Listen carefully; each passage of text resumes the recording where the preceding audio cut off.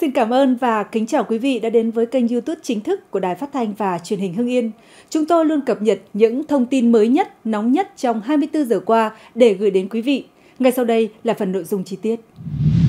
Chiều 18 tháng 4, đại diện Công an thành phố Dĩ An, Bình Dương cho biết đơn vị này đang phối hợp với lực lượng chức năng Công an tỉnh Bình Dương di lý đối tượng Huỳnh Ngọc Trần, 56 tuổi quê Cà Mau, từ Tiền Giang về Bình Dương để điều tra hành vi giết người.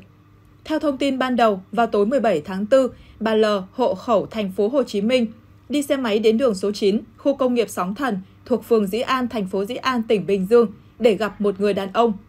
Tuy nhiên, sau đó một số người dân phát hiện bà L ngồi gục giữa đường. Khi đến kiểm tra thì phát hiện người này bị thương, chảy rất nhiều máu và đã tử vong. Gần đó, người dân còn phát hiện có chiếc xe máy bị ngã, nghi là của nạn nhân.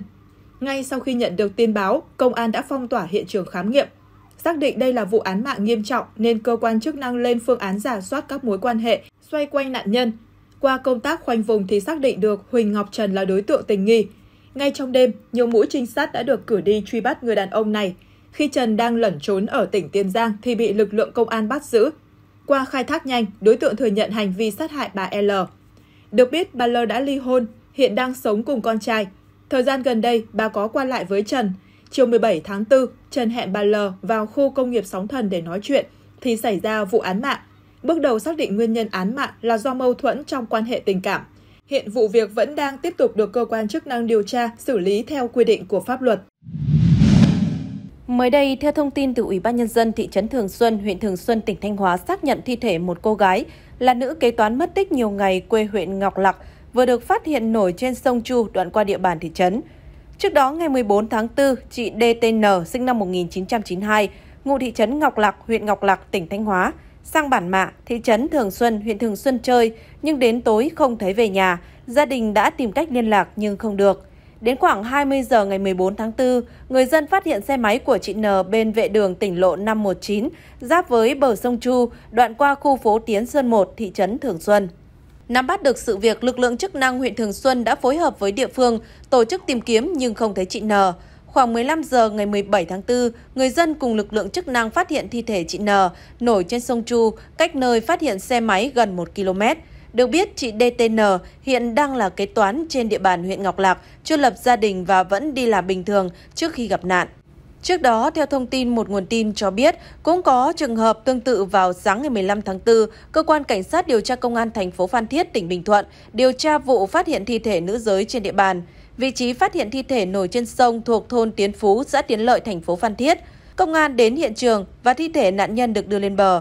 Thi thể là nữ giới mặc quần dài màu đỏ, áo khoác màu vàng nâu, độ tuổi dưới 30 tuổi và tử vong cách khi phát hiện khoảng 4 ngày.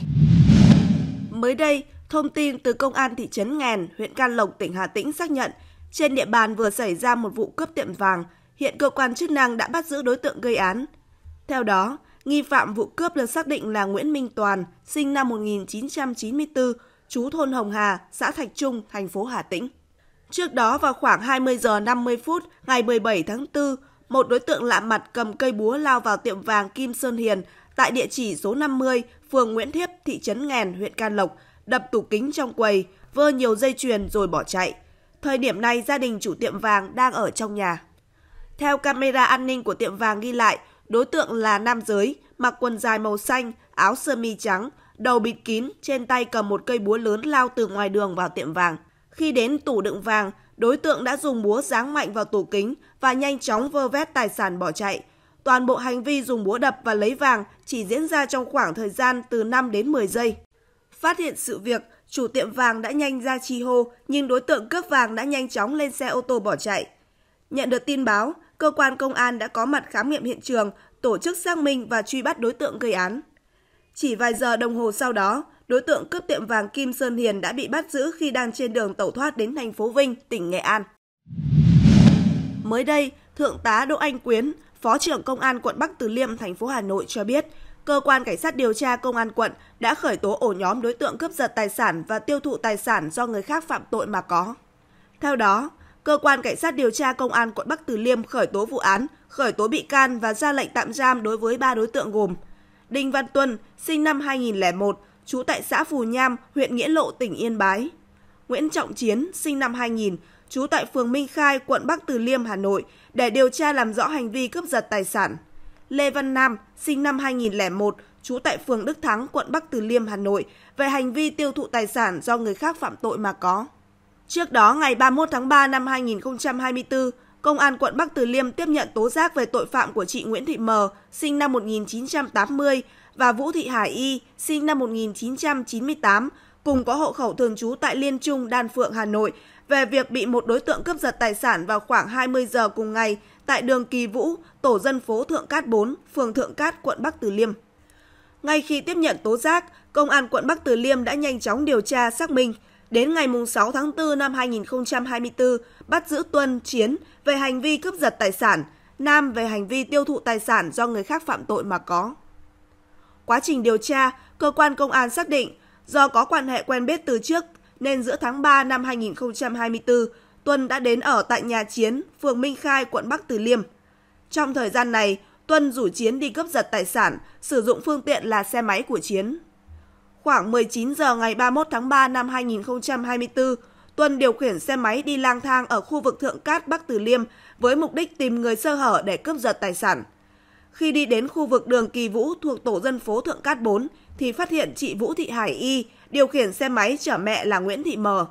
Ngay khi phát hiện, Tuân đã tăng ga áp sát bên trái chị M, bất ngờ dùng tay trái với sang giật chiếc điện thoại di động rồi nhanh chóng phóng xe bỏ chạy về nhà Chiến.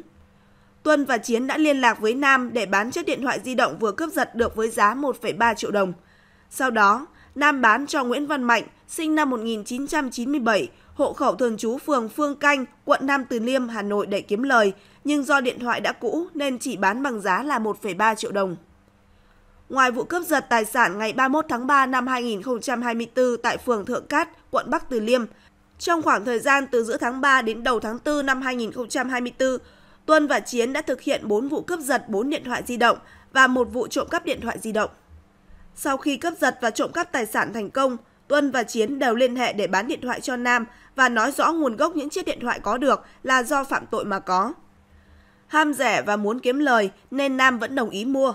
Sau khi mua điện thoại, Nam đã phá khóa máy, khôi phục cài đặt gốc của nhà sản xuất, sau đó bán lại.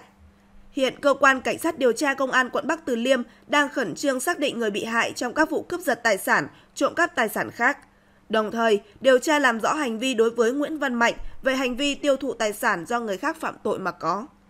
Cơ quan chức năng củng cố hồ sơ xử lý đối tượng Đinh Văn Tuân, Nguyễn Trọng Chiến, Lê Văn Nam về hành vi cướp giật tài sản, trộm cắp tài sản và tiêu thụ tài sản do người khác phạm tội mà có.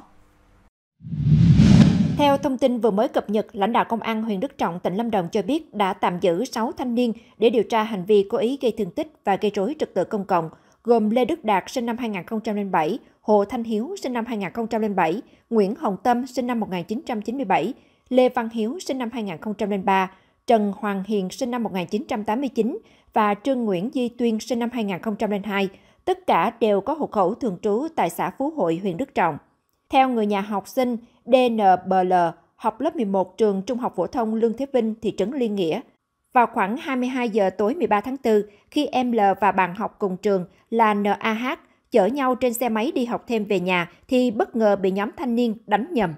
Trước đó khoảng 21 giờ ngày 13 tháng 4, Lê Đức Đạt đi xe gắn máy chở theo Hồ Thanh Hiếu từ thị trấn Liên Nghĩa về xã Phú Hội theo hướng quốc lộ 20. Khi đến khu vực gần Hồ Nam Sơn, thị trấn Liên Nghĩa, hai thanh niên này gặp một nhóm khoảng 20 người đi trên khoảng 10 xe gắn máy ngược chiều với Đạt và Hiếu. Sau cái nhìn khiêu khích, khoảng 3 đến 4 xe gắn máy quay đầu lại đuổi theo xe của Đạt và Hiếu. Lê Đức Đạt tăng tốc bỏ chạy về đầu hẻm bê tông thuộc thôn Phú Trung, xã Phú Hội. Lúc này Đạt và Hiếu gọi điện cho Nguyễn Hồng Tâm, 27 tuổi, Trần Hoàng Hiền, 35 tuổi, Trương Nguyễn Duy Tuyên, 22 tuổi, Lê Văn Hiếu, 21 tuổi, cùng ngụ huyện Đức Trọng chuẩn bị hung khí tập trung để đánh nhau. Sau khi gọi được người, nhóm Lê Đức Đạt về nhà Tâm lấy dao phóng lợn, tiếp sắt và gạch đá rồi đi bộ ra đầu hẻm sẵn sàng nghênh chiến. Đúng lúc nhóm thanh niên 20 người từ thị trấn Liên Nghĩa mang theo dao phóng lợn, cây gậy chạy xe đến. Cả hai nhóm sử dụng gạch đá, gậy ném về phía đối phương rượt đuổi la hét đánh nhau, gây hỗn loạn, mất an ninh trật tự. Rượt đuổi nhau khoảng 10 phút, nhóm thanh niên ở thị trấn Liên Nghĩa bỏ chạy. Khoảng 5 phút sau, em DNBL và NAH cùng học lớp 11 trường Trung học phổ thông Lương Thế Vinh, thị trấn Liên Nghĩa, huyện Đức Trọng, chở nhau đi học thêm về, ngang qua khu vực vừa xảy ra đánh nhau. Do nhìn nhầm và nghĩ hai học sinh này là nhóm thanh niên ở Liên Nghĩa, quay lại, nên nhóm Lê Đức Đạt sử dụng gạch đá, cây gậy, dao phóng lợn ném vào xe của Hát và nhóm bạn đang di chuyển tới. Do bị tấn công bất ngờ, Hát mất lái và vào đuôi một xe tải đang đậu bên đường, rồi lao vào cổng nhà dân, bị thương nặng. Khi phát hiện ra tay nhầm người, hai em nằm bất động nhưng nhóm thanh niên tiếp tục ngăn chặn người dân xung quanh đưa hai em vào bệnh viện.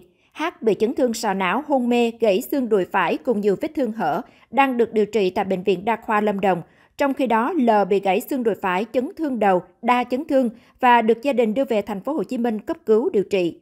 Xác định vụ việc có tính chất rất nghiêm trọng, gây ảnh hưởng xấu tới an ninh trật tự và bức xúc dư luận địa phương.